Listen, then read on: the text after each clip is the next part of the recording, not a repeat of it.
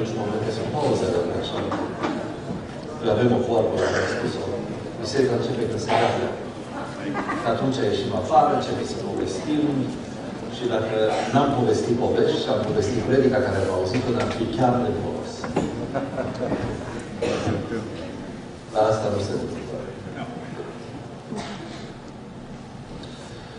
Spuneam că atunci când se dă vegetatea șasea, semnele scatologice prevestesc sau anunță venirea zilei Domnului, ziua cea mare și înfricoșată.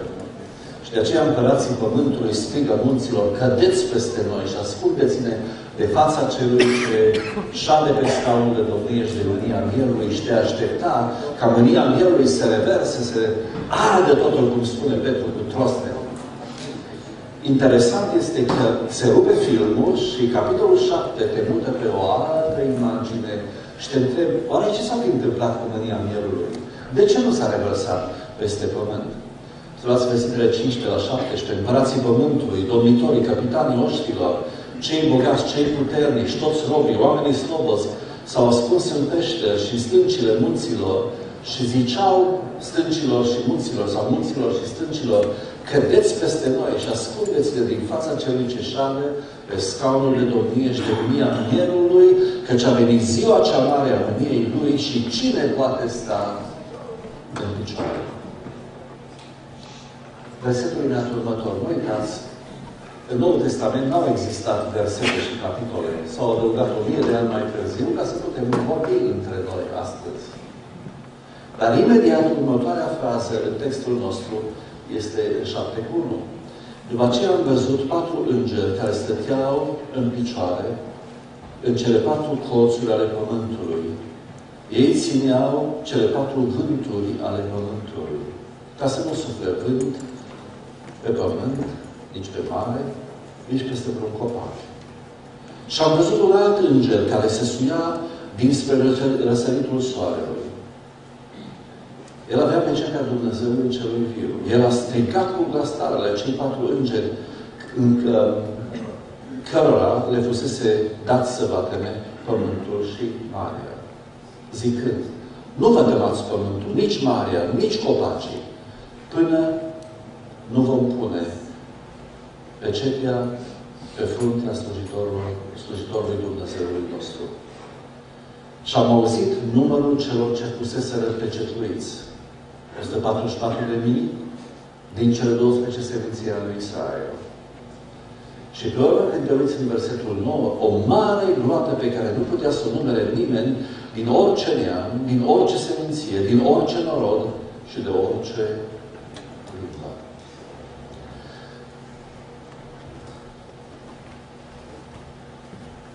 Ce făceau aceștia? Stăteau ca răspuns la întrebarea împăraților Pământului. Cine poate sta în picioare? Ei stăteau în picioare înaintea scaunului de domnie și înaintea mielului, îmbrăcați în haine albe cu ramuri de finic în mâini. Și strigau cu glas tare și ziceau, Mântuirea este a Dumnezeului nostru, care șade pe scaunul de domnie.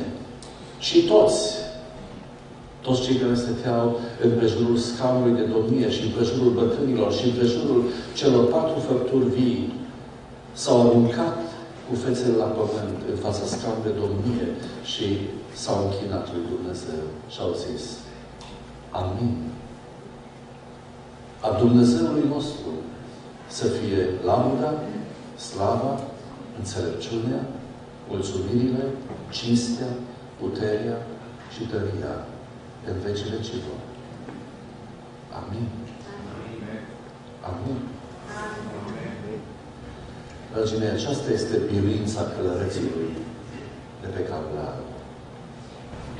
L-a pornit biruitor ca să biruiască. Lupta lui nu-i să așeze imperii pe pământul nostru, să adune bogății și deșertăciune. Lupta lui este să strângă în grinarul lui Dumnezeu oameni. Și, după cum o vedeți, pecetuirea începe între oile pierdute ale casei lui Israel, după porunca Domnului Isus. Și între cele două senicii sunt pecetuiți un număr restrâns, comparat cu cealaltă grupă, 144 de mii. Un număr finit, un număr Când te uiți la ceilalți, este o gloană pe care nu putea să numere nimeni. Toți stăteau în picioare înaintea scaunului de domnie, răscumpărați prin sângele Mielului. Erau rodul biruinței călărețului de pe calul alb. Dar dacă mă uit la istoria Bisericii, după ce Domnul Iisus și-a terminat lucrarea și-a trimis ucenicii în lucrare, pecetuirea se întâmplă în două etape. Dacă deschideți epistola lui Pavel către Romani, el spune în capitolul 1, versetul 16, căci mie nu mi-e rușine de Evanghelia lui Hristos, fiindcă ea este puterea lui Dumnezeu pentru mântuirea oricăruia care crede. A fiecăruia care crede.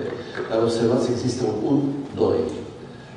Mai întâi a iudeului, apoi a noastră. Eu sunt Benjamin Benelia, Benjamin fiul lui Ilie, dar fac parte dintre neamuri. Jumate mai jumate român. Mai știu eu ce mai este prin uh, arborele meu genealogic. Eu țin de gloana aceea pe care nu le asumă nimeni, să dea Domnul la mine, așa să fie. Dar pecetuirea și propovăduirea Evangheliei s-a întâmplat în două etape. Și unul din bătrân mi-a zis, a luat cuvântul și mi-a zis, aceștia care sunt îmbrăcați în haine albe, cine sunt oare și de unde vin ei? Este foarte interesant. Citești Daniel și Apocalipsa. Ori de câte ori este vorba de mântuirea noastră, vorbește unul dintre bătrâni. Când zici bătrân, te îți imaginezi un bătrân, nu? Ca și pe Brad Nelson, cu păroară, cu față zâmbitoare, de șezând pe unul din scaunele de domnie ale Domnului în jur. Când e vorba despre tronul lui Dumnezeu, atunci vorbește una din făpturile vii. Când mergi în Daniel, ori de câte ori este vorba de mântuire, o sublas de om sau rezînvățișarea unui om. Și eu cred că Dumnezeu are zeci de mii de îngeri care sunt în slujba noastră. Ne spune Scriptura. Ei sunt slujitori lui Dumnezeu. Ei vântul își face slujitor și îngeri ca să te slujească pe tine, să te ajute să vii la mântuire. Unul din bătrâni mi-a zis, a luat cuvântul și mi-a zis, aceștia care sunt îmbrăcați în haine albe, cine sunt și de unde vin ei? Doamne, i-am răspuns eu, Tu știi. Și el mi-a zis, aceștia vin din necazul cel mare. Ei și-au spălat hainele și au albit în sângele Mielului.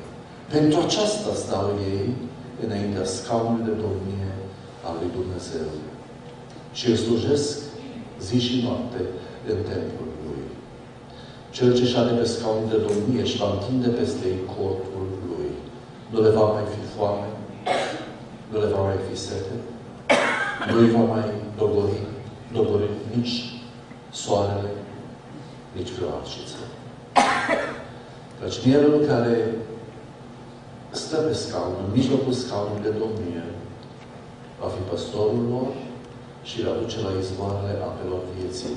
Și Dumnezeu le va șterge orice lacrimă din ochi. Dragii mei, imaginea aceasta ține de sfârșitul istoriei. O veți regăsi în capitolul 21. În capitolul 21. Observați, în momentul în care se rupe pe cel de-a șasea, din Genesa am ajuns până la cruce.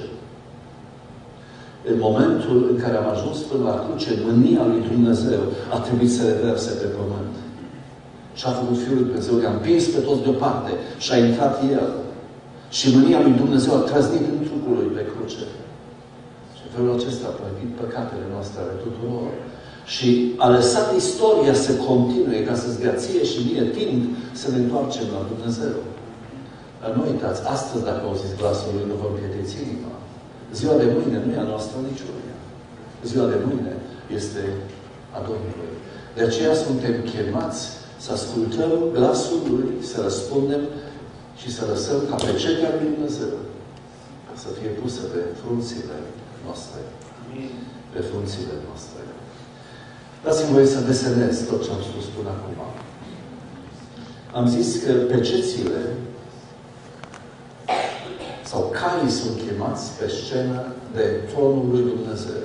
Una din făpturile vii dau poruncă din tronul lui Dumnezeu și glasul tunete și fulgere. El guvernează istoria. Făpturile vii, nu zice, vino să ne uităm la un film, cum aleargă cai prin istorie, ci făpturile vii cheamă caii pe scena istoriei. Vino, vino, vino!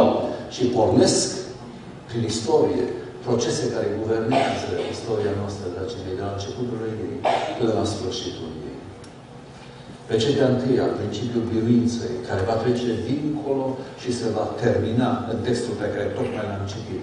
Când Dumnezeu va aduna istoria, se va sfârși taina lui Dumnezeu și cei mântuiți vor pe Marea de Sticlă, capitolul 15, iar peste ceilalți va veni pedeapsa finală lui Dumnezeu. Pe cea de-a doua, pe cea de-a treia, pe cea de-a patra, pe cea de-a cincea colindă istoria, dragii mei, și adună sub tronul lui Dumnezeu pe toți cei care au rămas credincioși până la moarte, au refuzat semnul fiarei și au plătit cu viața pentru mărturia lor. Dar între pe cea de-a șasea și pe cea de-a șaptea se deschide paranteza din capitolul 7. Când pe cea de-a șaptea se rupe, pe cea de-a șaptea conține șapte trebuințe. Și asta începe în capitolul 8. Când ultimul sunet de credință sună, se termină istoria. Se termină istoria, ne spune Ioan în Apocalipsa.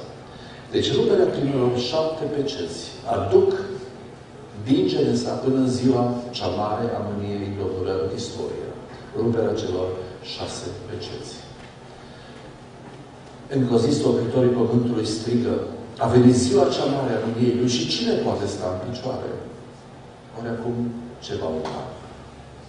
Dragii mei, din pricina Domnului Isus, care e Mielul lui Dumnezeu care ridică păcatul lumii, dar acum s-a arătat o neprihănire pe care de Dumnezeu fără lege. Despre ea mărturisesc legea și prorocii. În baza acestei neprihăniri sunt pecetuite cele 144 de mii și gloata cea mare pe care nu poate să o nimeni. Mă întorc înapoi în cartea Exod, cartea pivotare a Scripturii. Primele 19 capitole răscumpărare, 20 la 24 lege, 25 la 40, cortul întâlnirii. Care este mărturia legii? Uitați-vă ce spune textul din Roman 3 cu 21. Dar acum, ce a fost înainte, am dovedit că toți sunt sub păcat. Toți sunt, au păcătuit. Capitolul 3 de la 9 la 20. Și după ce Pavel a dovedit vinovăția noastră a tuturor, el vine cu un contrast. Dar acum s-a arătat o neprihănire pe care de Dumnezeu, fără lege, despre ea mărturisesc legea și prorocii. Ar trebui să cunoști mărturia legii și mărturia prorocilor, să înțelegi versetul acesta, să nu răstălmăcești. Aici am legea, în cartea Exod. Dragii mei, care e neprihănirea pe care Dumnezeu dă fără lege? Observați, răscumpărarea este prin har iertarea prin mijlocirea Marului Preot și jertfa de ispășire este prin har.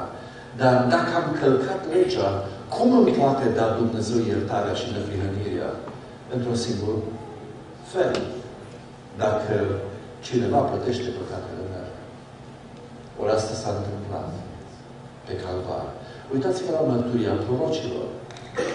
Prorocii sunt trimiși pe scenă atunci când nelegiuirea a umplut paharul și Dumnezeu trebuie să aducă pedeapsa. Dar în mod ciudat, prorocul acestor oameni păcătoși are un cuvânt de mântuire. În 16, în 17 cărți profetice termin pe lumină, pentru o misiune. Cum se poate așa ceva? Într-un singur mod. Dacă cineva a plătit pedeapsa, pentru că plata păcatului este moartea. Și neprihănirea pe care Dumnezeu o dă în Fiul Său este pentru că legea a fost împlinită. Dumnezeu nu poate mântui pe om frumos. Numai prin judecată și dreptate, spune profetul Isaia. Și de aceea nelegiuirea trebuia plătită de Dumnezeu însuși prin întrupatul Său Fiul. Luca, capitolul 4, versetul 18 la 21, este textul în care Domnul Isus în sinagoga din Nazaret își, își anunță platforma, program al lucrării Lui. Îi se dă sunul cărții Isaia și el începe să citească ea. Duhul Domnului este pentru, peste mine, pentru că m-a uns ca să vestesc săracilor Evanghelia.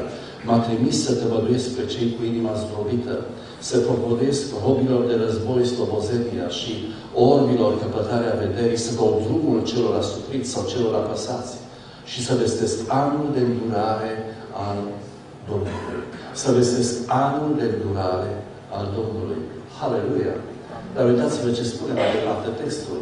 În urmă a închis cartea, a dat înapoi îngrijitorului și a ședut jos. Toți cei din sinagogă s-au întors și au ținut cu privirea. Și a zis, What's wrong with you? De ce ai citit textul până la capăt? Toți știau textul. Suntem profeția lui Isaia. Dragii mei, atunci a început să le spună, astăzi s-au împlinit cuvintele acestea din Scriptură pe care le-ați auzit. Or sta în picioare înaintea scaunului de dormie doar aceia care și-au spălat hainele în sângele mielului. Știți ce urmează în fraza pe care Domnul Iisus ne-a terminat-o? Și o zi de răzbunare a Dumnezeului nostru. Hristos a venit să-și toarne în cap mânia lui Dumnezeu. Pedeapsa care trebuia să cadă peste tine și peste tine. Domnul Iisus a luat-o asupra Lui.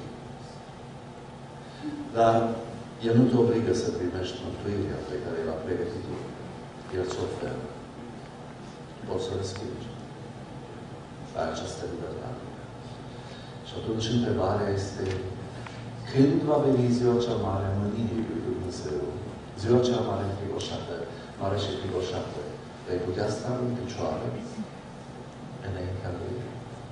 Doar dacă astăzi îți deschizi inima să primești lucrarea Domnului Iisus Hristos prin Duhul Său cel Sfânt. Dragii mei, Scriptura vorbește despre har. Știți ce e harul? Harul este vremea pe care Dumnezeu ți-o dă ca să te pocăiești. Este harul. Este un text pe care am citit de câteva ore, mi spus bisericii din Sardes. Celui ce se va pocăi nu-i voi șterge nici de cum numele din cartea vieții. Nu-i voi șterge nici de cum. Nu tuturor. Dar dacă pui întrebarea, cineva a venit la mine în pauză și m-a întrebat cum e cu ștergerea numelui din cartea vieții. Dragii nu știu și nu crede să o boabă din ce vă spun. Dar imaginați-vă că atunci când v-ați născut, părinții voștri au primit un certificat de naștere, e adevărat? Și îl păzim cu grijă, pentru că oriunde mergi să schimbi buletinul, trebuie să mergi cu un certificat de naștere, dar poate să întâmpla să-l pierzi. Când duci la o, o carte a vieții, care e acolo pe la primărie, din satul în care te-ai născut și trebuie să te caute, să zică, da, Lady fără de s-a născut la 22, eu de fapt m-am născut în 23, dar mama a zis că eu prea comunistă, zic, și m-am pus în 22 și m-am născut acasă. Asta e da. Și când mă găsesc acolo, îmi renuiesc certificatul de naștere. Cu alte cuvinte, eu rămân în cartea vieții până când mi se dă un certificat de moarte. Adevărat? Tatăl meu a murit, am și astăzi. Și de la mama un certificatul de moarte. Uh, cum ar fi dacă aș pune întrebarea pe ce bază se scriu numele în cartea vieții?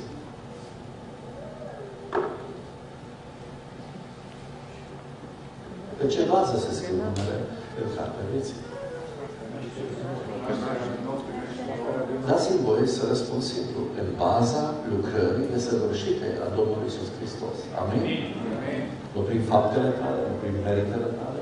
În baza faptului că cei ce s-au botezat în Hristos s-au îmbrăcat cu Hristos. Imaginați-vă că mă duc la judecată și pe discheta mea sau pe USB-ul meu este toată viața mea și uh, cineva îmi cere USB-ul să-l bage în computerul cerului și ums toată viața mea. E acolo pe față motivații, gânduri, atitudini, vorbe, fapte. Tot este gol și descoperit. Dar înainte să ajung la judecată, Domnul Iisus mă așteaptă la porțile cerului, îmi ia USB-ul sau discheta sau whatever you have, floppy disk, care este numele tău, o bagă în computerul lui, șterge viața mea, trage viața lui peste USB-ul meu, îmi dă înapoi și mă duc la judecată, intru la Tatăl. Și apoi completul de judecată. Și viața mea este pusă în computerul cerului. Și nu am decât să cred. That's not me. It's who? It's not me. It's Him. Nimeni nu va intra acolo în baza neprihănirii Lui.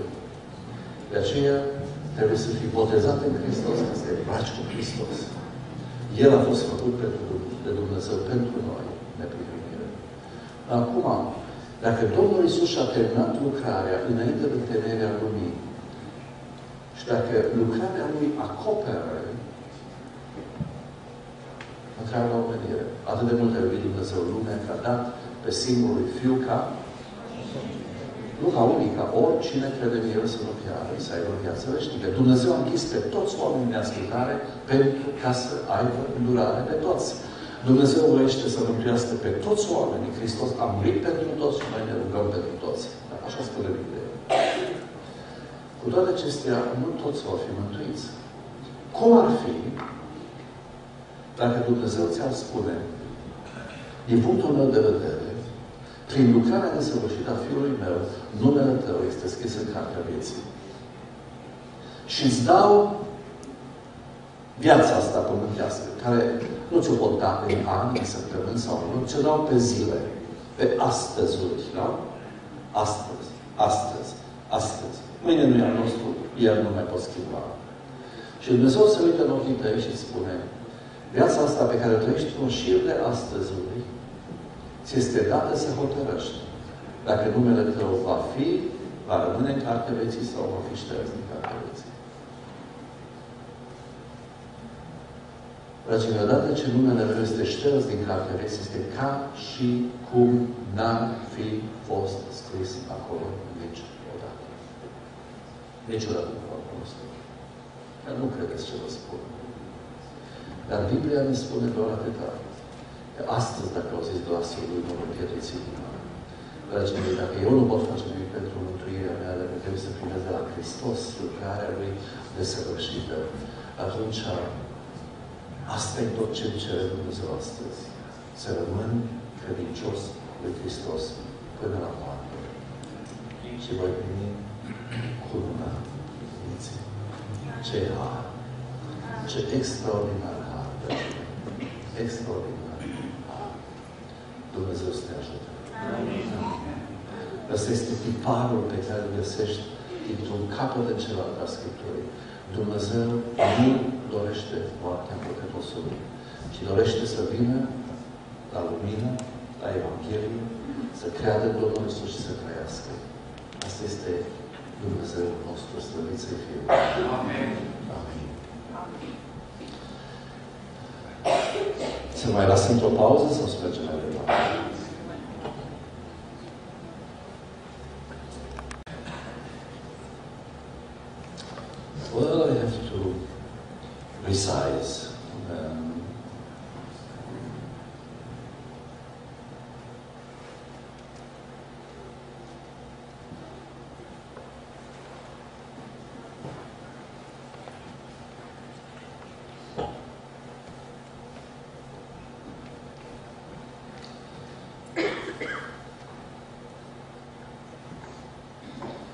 Spuneam că atunci când se rupe ultima pecete a șaptea, pecetea în sine conține cele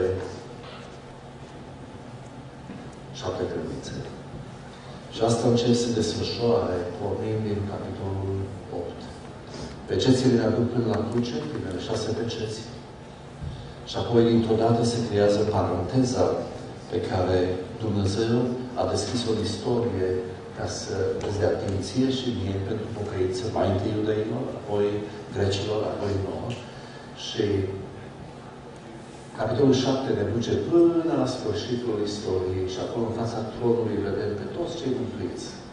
Veți vedea imaginea mult mai clară în capitolul 15, pe Marea de Cristal, cu alăutele lui Dumnezeu în mână, sunt cei care au fost mântuiți de pe pământ. Pe capitolul 7 îi vedem venind îmbrăcați în haine albe din necazul cel mare și stând în picioare înaintea scaunului de domnia Îngerului. Da? Odată cu ruperea ultimei peceți și sunetul trâmbițelor, pedeapsa lui Dumnezeu începe să crească. Cu alte cuvinte, ceea ce urmează peste pământ, după crucea lui Hristos, este chiar mai greu decât ce a fost până la crucea lui Hristos. De ce? Pentru că mânia lui Dumnezeu îți descopere din cer împotriva oricărei necinstiri și oricărei nelegiuire a oamenilor. Și atunci necinstirea și nelegiuirea înmulțindu-se, pedeapsa crește. Pedeapsa crește de la o treime la o pătrime. Observați, suntem în blocul de text de la 6 la 11 și întrebarea pe care ne-o punem este cum i-a ajutat Duhul Dumnezeu pe ei atunci acolo ca să biruiască prin tot ceea ce le spune. Dragii mei, dacă nu știi care, care este deznodământul vieții tale, nu știi cum să te poți. Eu am diabet. Am descoperit lucrul acesta. Și au venit domnii medici și mi-au spus consecințele diabetului. Nu știu dacă câinii au diabet, probabil și ei o să iau să faci nu sunt animale. Dar dacă au venit și mi-au spus că îmi pierd picioarele, că nu mai văd ochii, că mi se blochează rinichii, că uh, dacă eu nu le cred toate astea, mă gândesc la dulciul. Doamne, puneți aici în America, nimic nu-i fără zahăr. Dar când uh, mă uit serios la consecințele și mă gândesc că vine cu ferestrău să tai jos piciorul, uh, atunci zic, ups, și pun puțin în gât. Observ, dacă nu înțelegi consecințele faptelor tale, te joci cu ele. Și eu cred că capitolul 6 la 11, care deschid într-un fel înaintea ochilor noștri implicațiile păcatului, vin să ajute pe cei din bisericile de atunci și biserica de acum. Celui ce va birui, adică cel care va face stânga împrejur, dacă a pornit-o pe drumul rău, Dumnezeu îi arată binecuvântările lui. Cel ce nu vrea să se pocăiască, cel care va continua pe drumul păcatului, arată blestemul final al Dumnezeu. Deci în felul acesta cred eu că este important să înțelegi unde duce drumul pe care Dumnezeu te-a așezat. Uitați-vă cum e structurată cartea. Înainte, în capitolul 4 și 5, este sala tronului lui Dumnezeu, Alfa și Omega, începutul și sfârșitul, umbrela sub care se desfășoară întreaga istorie. Apoi în capitolele 6 la 11, care pleacă din Genesa și mă duc până la sfârșitul istoriei. Capitolul 11, ultimele versete. Ultimul zile de trămiță. În capitolul 12, mă aduce înapoi în Genesa, Genesa 3 cu 15, și 12, 13, 14, parcurg din nou istoria. De ce? În 6 la 11 parcurg istoria pe linia blestemului. 7 pece, 7 potire. Și vor veni 7 trâmbițe, 7 trâmbițe, 7 potire, capitolul 16. Dar în 12 la 14 vin pe linia binecuvântării. Binecuvântarea este pruncul acela pe care îl naște femeia și care este răpit la Dumnezeu și care va cârmui neamurile cu un de fier. Este Domnul Isus Hristos. El este persoana binecuvântării. Acum am văzut, uh, am plecat la principiul din Romanul 18 și am văzut că începutul existirii lui Dumnezeu este în Genesa. De aceea, caii pornesc pe scena istoriei, chemați de tronul lui Dumnezeu, uh, pe făpturile vii, încă din Genesa și colindă istoria. Dar întrebarea, când vin în fața acestui principiu, mânia lui Dumnezeu se descoperă din cer împotriva oricărei necinstire a lui Dumnezeu și împotriva oricăror nelegiuiri a oamenilor care năduși adevărul în nelegiuirea lor, întrebarea este cât trebuie să apese pedeapsa lui Dumnezeu asupra mea ca să mă pocăiesc.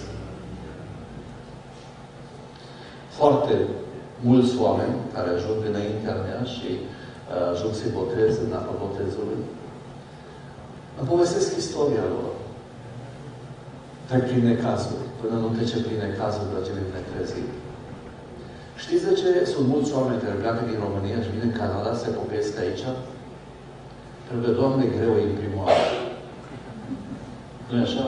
Nu cunoști pe nimeni. N-ai ce mânca, n-ai slujbă, n-ai bani, depinzi de mila altora, ești vulnerabil, ești atârnat pe un fir de ață. În 89 uh, am fost în Ventura, în California, să visez o mătușă și ne pleca avionul, am venit la aeroport și un frate din biserica noastră venise câțiva ani înainte, vreo doi ani înainte, cu trei copii după el, mi-a telefon și zice, vreau să vin să te întâlnesc. A venit cu fetițele la aeroport. Până ne-a plecat avionul, dragii mei, hohotea de plâns.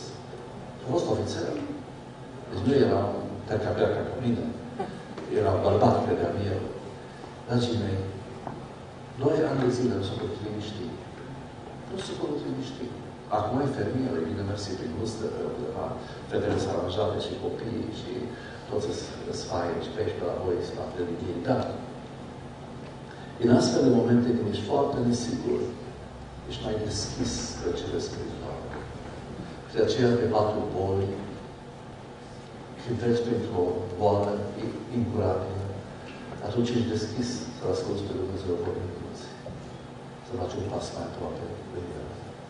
Dar întrebarea este cât de mult trebuie să apese da? și cât de tare trebuie să apese mâna Domnului împotriva mea ca să mă pocăiesc sau ca să te pocăiești. Aveți copii răzvrătiți prin familiile voastre? Ridicați mâna. O, puțin, majoritatea sfinți pe casele voastre.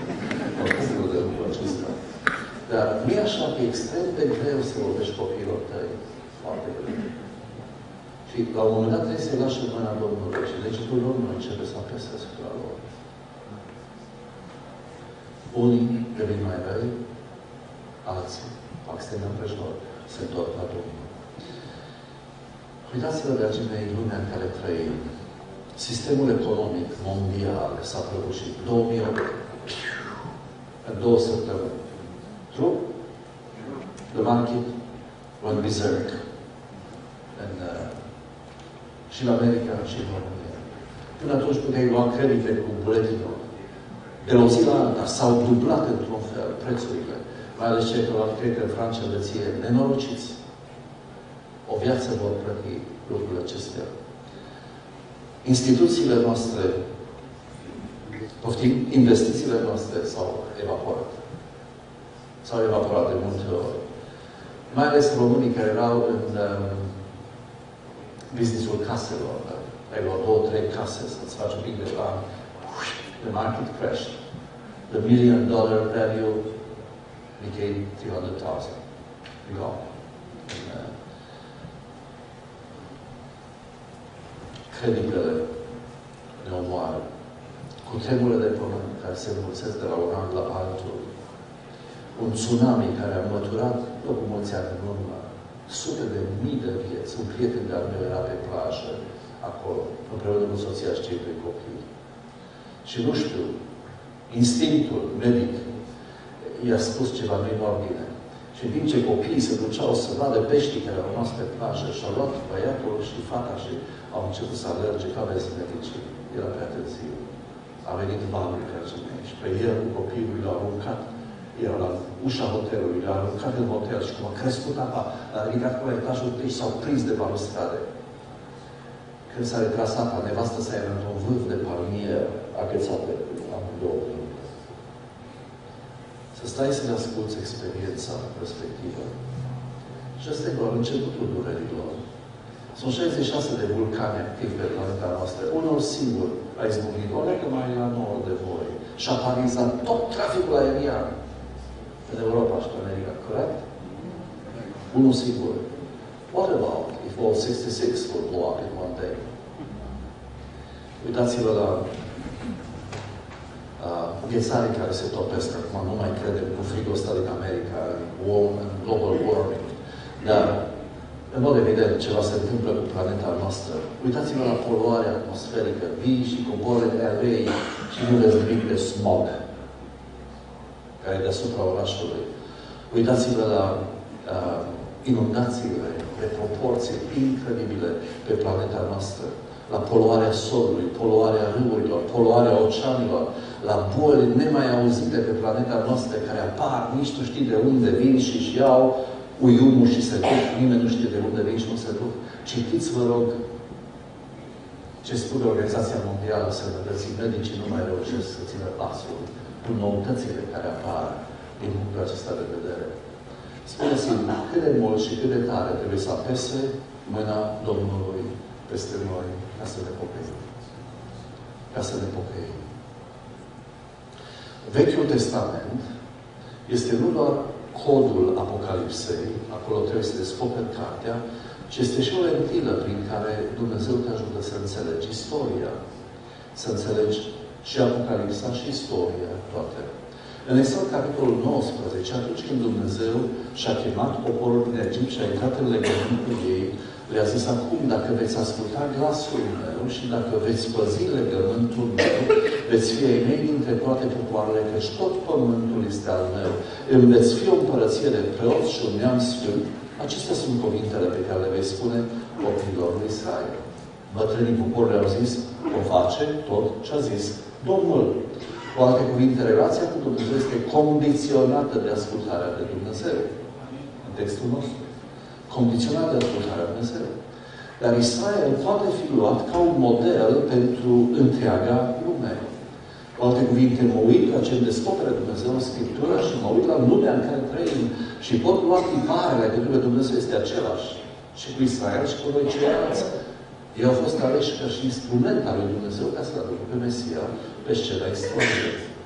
Dumnezeu a promis Apocalipsa peste poporul său pentru că a întărit legământul său, pe de o parte cu binecuvântări, pe de altă parte cu blestem. Și Dumnezeu este serios în ce a rostit. Blestemul, din câte înțeleg eu, este ultima chemare a Harului lui Dumnezeu. Dumnezeu nu dorește moartea păcătosului. Îți ofere binecuvântarea. Tu o respingi. Și atunci mâna lui începe să apese asupra ta. Prin pedepse imediate.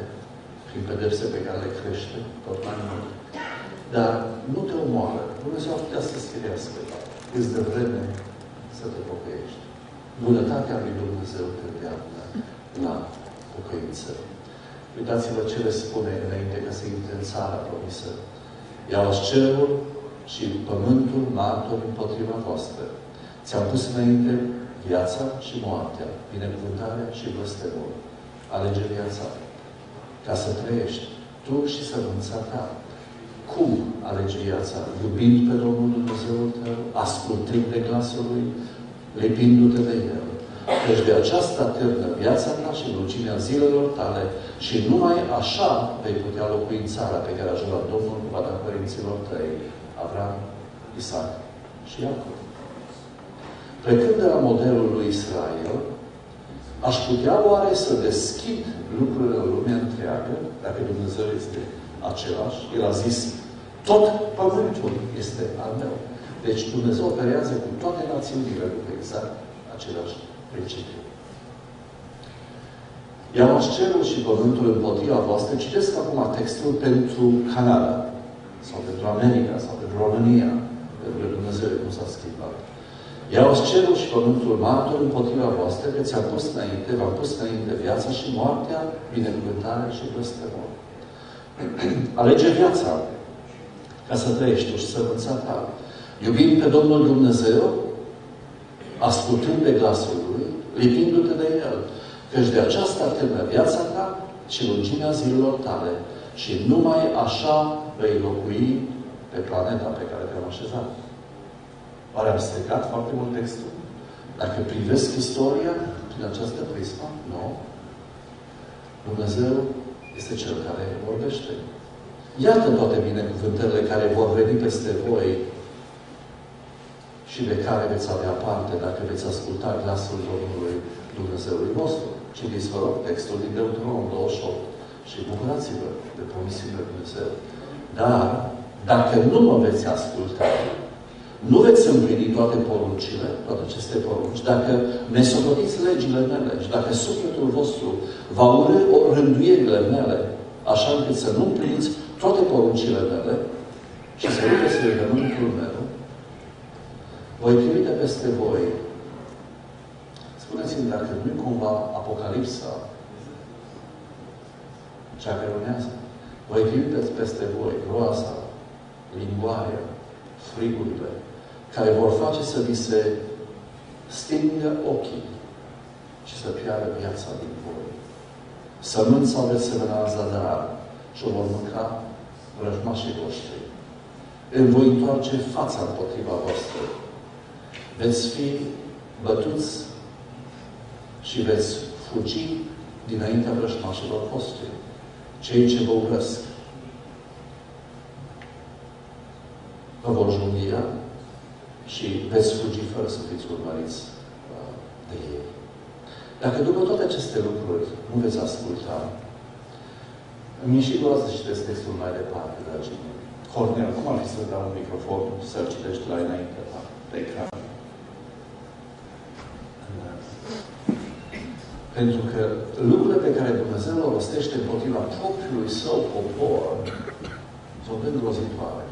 Dacă după toate acestea nu veți asculta, vă voi pedepsi de șapte ori mai mult pentru păcatele voastre. Versetul 19. Voi frânge mândria puterii voastre. Voi face ca deasupra voastră cerul să fie de fier și pământul de aram vi se va istorisi puterea fără folos. Islovi puterea. Islovi puterea fără. Pământul vostru nu-și va mai da roadele și pomii de pe pământ nu-și vor da rodul. Dar și după acestea vă veți împotrivi și nu veți voi să mă ascultați. Vă voi lovi de șapte ori mai mult pentru păcatele voastre. Voi trimite împotriva voastră fiarele de pe câmp, care vă vor lăsa fără copii vă vor nimici vitele și vă vor împuțina așa că vă vor rămâne drumurile pustii. Dacă pedepsele acestea nu vă vor îndrepta și dacă vă veți împotrivi mie, mă voi împotrivi și eu vouă și vă voi lovi de șapte ori mai mult pentru păcatele voastre. Voi face să vină împotriva voastră sabia care va răspuna călcarea legământului meu. Și când vă veți strânge în cetățile voastre, voi trimite ciuma în mijlocul vostru și veți fi dați în mâinile voastre, în vrăjmașilor. Când vă voi trimite lipsă de pâine, zece femei vă vor coace pâine într-un singur cuptor și vi se va da pâinea cu cântarul. Veți mânca, dar nu vă veți sătura. Dar cu toate acestea nu vă veți asculta.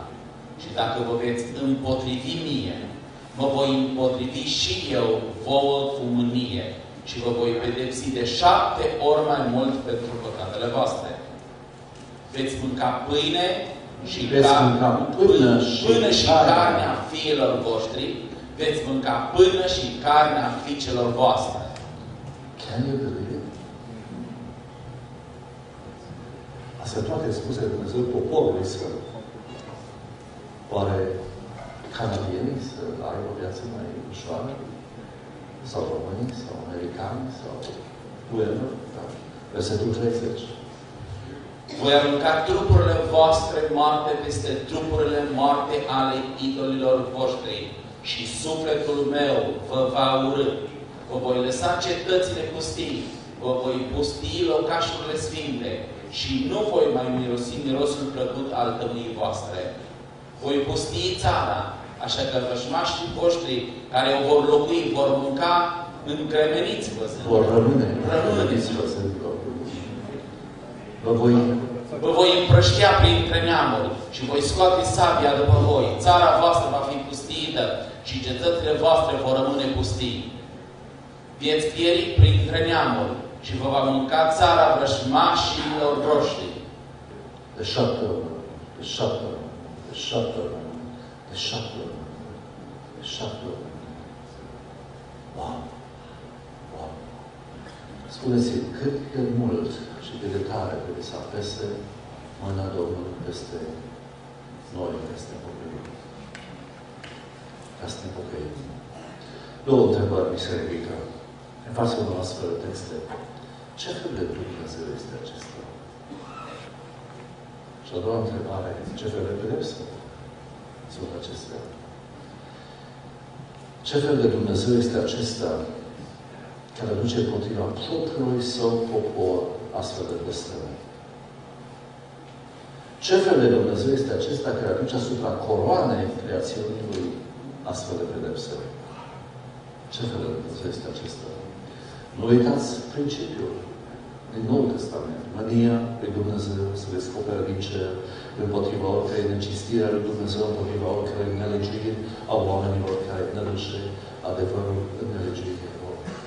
Și când mă întorc la ruperea veceților porucite de tronul lui Dumnezeu și care aceștia încep să pornească în istorie, văd cum se mișcă în istorie pedeapsa lui Dumnezeu ca un bulgăr de zăpadă care crește de la un an la altul din pricina faptului că necinstirea de Dumnezeu și nelegiuirea se mulțesc în jurul nostru. Primele cinci peceți, în urma necinstirii lui Dumnezeu și a nelegiuirii care pornesc din Eden, Dumnezeu rostește în istorie un cuvânt de blestem care practic caracterizează întreaga noastră istorie de la un capăt la celălalt. Vrășmașie de sămânța femeii și sămânța șarpelui, sabie, foamete, molimă, moarte. Când arăt vielul pe cetea șasea, atunci apar semnele scatologice despre care am citit. Și împărații pământului îngrozit strigă. Munților se ascundă de mânia mielului și de mânia celui ce șade pe scaunul de domnie, spune textul, căci a venit ziua cea mare a mâniei lui. Cine poate sta în picioare? Ziua cea mare a mâniei lui Dumnezeu trebuie să încheie socotelile pe pământ. Dar am văzut că Dumnezeu în dragostea Lui, în loc ca să ne lasă să vedem filmul mai departe, în baza textului citit de Domnul Isus în Nazaret, în sinagogă, el se oprește la anul de îndurare al Domnului și nu mai citește ziua de răzbunare. Pentru că pe cruce Dumnezeu a luat ziua de răzbunare asupra sa ca să lasă istoria să continue pentru că tu și cu mine și copiii noștri să putem fi pecetuiți cu pecetea lui Dumnezeu ca într-o bună zi să stăm înaintea lui Dumnezeu. Roman spune că Dumnezeu va răsplăti fiecare după faptele Lui și anume va da viață veșnică celor ce prin stărință al bine caută slava, cinstea și nemurirea. Și va da mânie și urgie celor ce din duc de ceartă se potrivesc adevărului și ascultă de nelegiuire. Dar de ce nu se întâmplă lucrul acesta în zilele noastre? Spuneți-mi, e mai puțină nelegiuire astăzi ca ieri. No. Eram în America și uitam la news acasă nu am timp de ceva și am auzit de Dark Dynasty, ați auzit și voi? De Phil Robinson, care o îndrăznit să citească, să citeze un text din Corinteni și o să zic America în cap. Și l-au suspendat de la filmări. Și au zis, bigots. Da. Bă, s-au ridicat și creștinii, mulțumesc Domnului, și Dar zice, unde e moral majority în America? Today. It's gone. It's gone.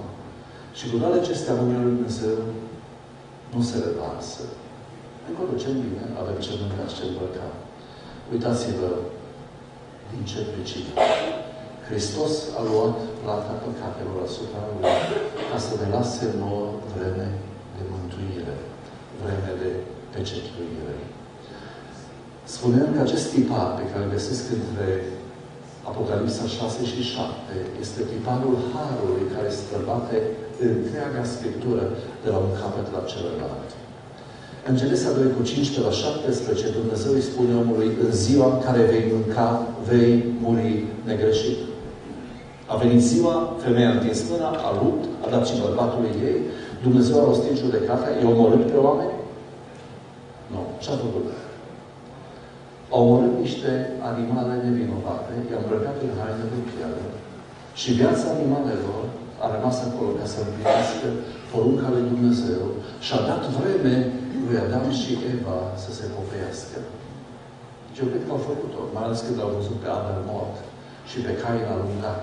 Când se naște Set, Eva zice, Set înlocuit. Oare prin acesta?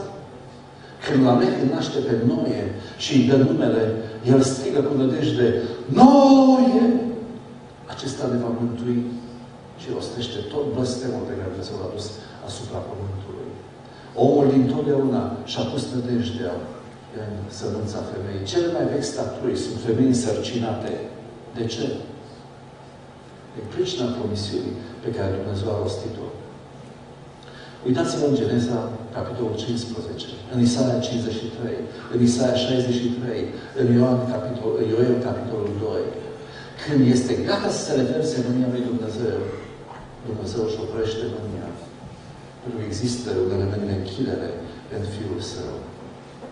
Interesant, dacă Vă duc mai departe. Ezechiel 9 la 11. Luca, capitolul 4, 18 la 21. Tocmai am citit textul. Fapte 2. Apocalipsa 6, 7.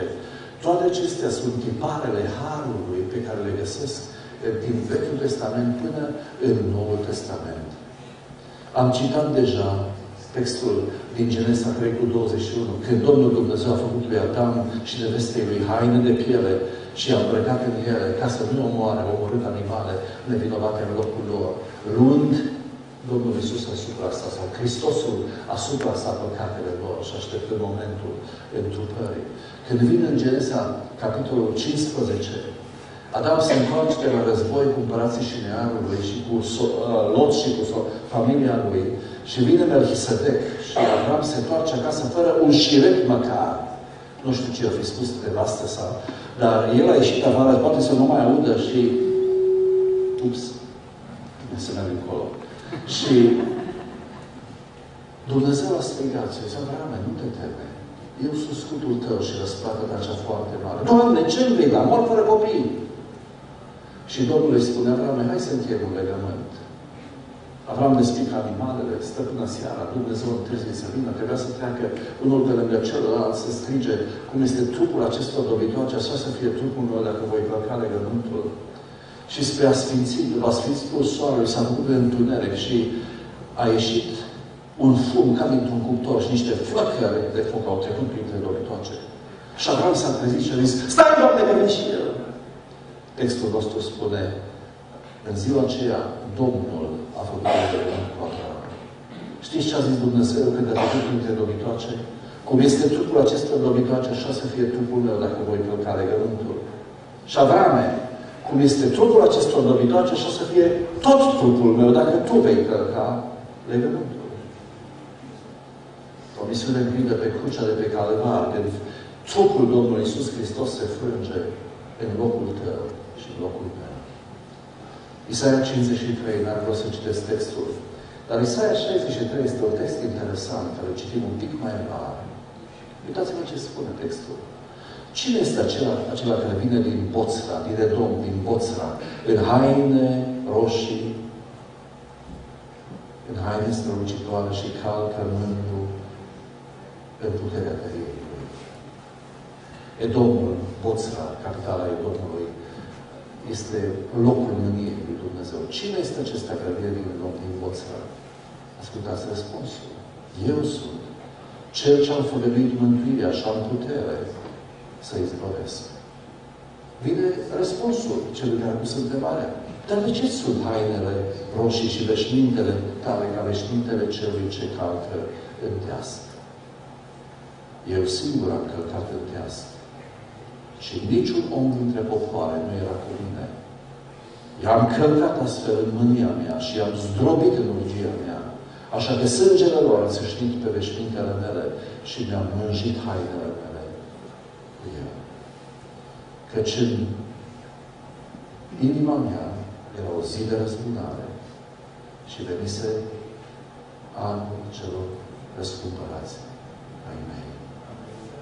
Dragii mei, personajul acesta, care nu era altcineva decât cel din Isaia 53, robul Domnului, ale cărui cântece le găsești în Isaia, este cel care s-a lăsat călcat în teasc în locul tău și în locul meu.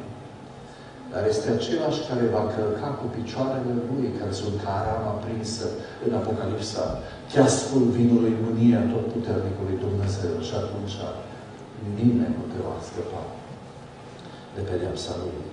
Uitați-vă la versetul 5. Imaginați-vă în Ghețiman, când cei trei au fost rugați să stea și să vegheze împreună cu Domnul Iisus un ceas măcar. Și mă uitam împrejur. Și nu era nimeni ca să mă ajute. Mă îngrozeam. Dar nu era nimeni să mă sprijinească. Atunci brațul meu mi-a venit în ajutor și mânia mea m-a sprijinit. Am călcat astfel în picioare popoare, în mânia mea și le-am îmbătat în orgia mea. Le-am vărsat sângele pe pământ. Versetul următor. Voi vesti îndurările Domnului și faptele Lui minunate. după tot ce a făcut Domnul pentru noi. Spuneți-mi, cum se poate versetul 6 cu versetul 7? Într-un singur mod. Dacă aici, în locul nostru, este Fiul lui Dumnezeu, omul Domnului. Pentru că El a plătit păcatele. El s-a lăsat călcat în piasă. În locul tău și în locul meu. El a putut să-ți ofere ție și mie. Vreme de pecetuire, de pocăință, anul de îndurare, sau îndurările Domnului. Voi spune marea lui bunătate făcute casei lui Israel, căci i-a făcut după îndurările și bogăția dragostei lui. Și aici cu cinci. Nu era cine să mă sprijinească și atunci brațul meu mi-a venit în ajutor. Cine a crezut în ceea ce mi se răstise, cine a cunoscut brațul Domnului?